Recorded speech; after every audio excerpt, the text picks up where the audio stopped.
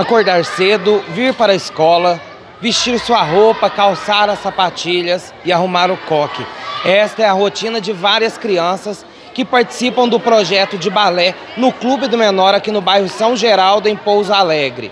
Para as professoras, este projeto, que se iniciou no primeiro semestre deste ano de 2024, traz vários benefícios para as crianças. A dança, ela proporciona para a criança um desenvolvimento físico, motor, cognitivo, emocional, né, social, afetivo. Então, assim, são muitas competências que a dança traz e, assim, ter uma vez na semana, elas, elas têm uma vez na semana. A gente está vendo ao longo do tempo é, a sementinha sendo plantada, a disciplina, a coordenação, as crianças saem mais motivadas, porque a gente trabalha um balé pedagógico, educacional mesmo. Não só a dança em cima, coloca uma música ali e deixa dançar. A professora Tamires Rosa está aí no balé desde os 9 anos e ela atende três turmas uma vez na semana aqui no bairro São Geraldo. A família é nossa base, né? Então, assim, graças a Deus a gente tem um suporte muito bacana aqui com o Clube do Menor, né? Eles têm essa questão da disciplina, em trazer os pais para perto das crianças, porque as crianças sentem falta disso. Então, é, são, são crianças que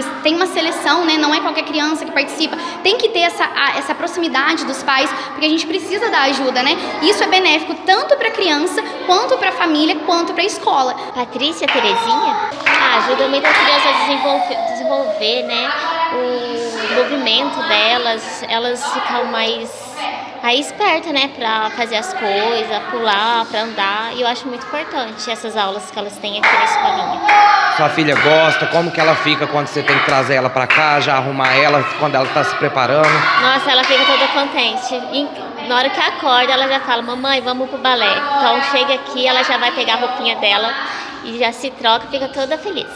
Depois que elas ganharam roupinhas, como é que foi? Nossa, todas as crianças ficaram muito felizes que eles ganharam agora nessa terça-feira. Então eu ajudei a arrumar todas as crianças e nossa, eles ficaram muito, mas muito felizes mesmo.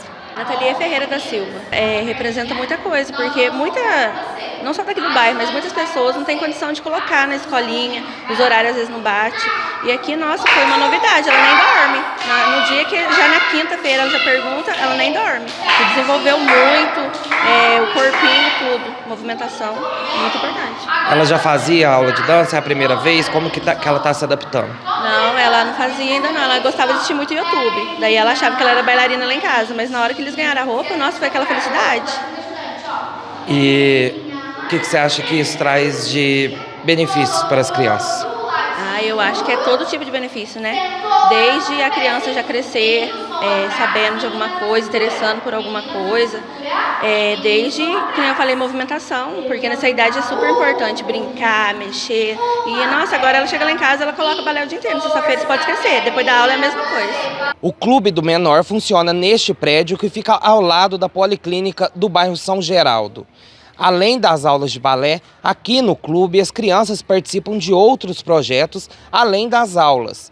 Um desses projetos tem como objetivo unir as famílias, principalmente em uma área com alto nível de vulnerabilidade. Além das aulas de balés oferecidas, nós também ofertamos o Brinque Família, que é um projeto no qual a criança participa juntamente com o responsável também no contraturno escolar e no qual desenvolve a coordenação motora, habilidades. Essa parceria entre escola e família é muito bem vista para todos, porque tudo isso reflete a parte cognitiva da criança em sala de aula. Então, o objetivo maior é o estreitamento de vínculos entre pais e filhos. O Clube do Menor atende mais de 230 crianças de 2 a 5 anos e 11 meses de idade e que moram no bairro São Geraldo. A escola funciona no período da manhã, tarde e também no período integral. A associação é filantrópica e está aberta a todos os tipos de doações, como explica a diretora Maria Lúcia. Nós temos aqui canais, por exemplo, onde essas, essas doações poderão ser feitas através é, do teledoação. É, através também do nosso CNPJ, nós recebemos doações aqui para a instituição. É, e também é, recebemos é, no local.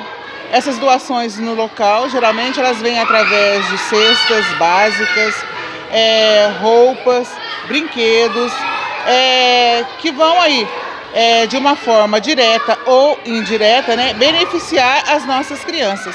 Quando eu falo indireta, porque muitas vezes nós revertemos algumas doações é, que recebemos é, de, do, de, vestuário, né, é para o bazar. Aí esse bazar vai trazer para a gente né, recursos é, onde vai é, aumentar nossas, as nossas rendas. A dança, para mim, é, é, um alimento para a alma. Eu costumo dizer que eu rego almas através da dança, né? E para as crianças é, um, é algo que elas vão levar para a vida inteira. Como eu falei, não só desenvolve agora na parte da infância, mas as competências que a dança desenvolve na infância, elas levam para a vida toda, para a vida adulta, a socialização, o cognitivo. Então, assim, são inúmeros, inúmeros benefícios mesmo estamos aqui, é, situados aqui no São Geraldo e abertos não só para as doações, mas também para todas aquelas pessoas que é, se sentem a necessidade e se sensibilizam assim, com a causa, vir nos conhecer. Será um grande prazer recebê-los.